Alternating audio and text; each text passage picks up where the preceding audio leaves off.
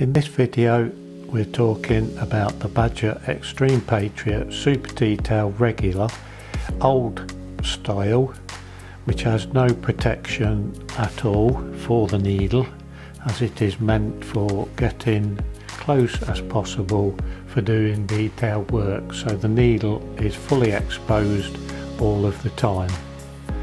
This part is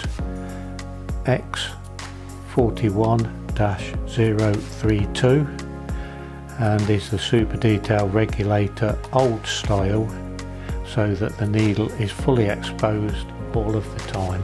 This part will be available until stocks run out.